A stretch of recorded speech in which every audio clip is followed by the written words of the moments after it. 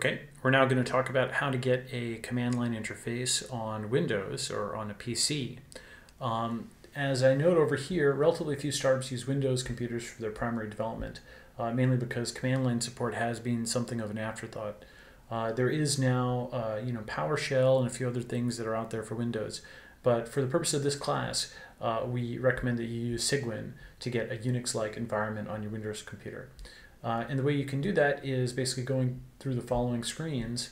Um, you go to cygwin.com uh, and uh, then um, you will uh, just get the setup.exe and double click it.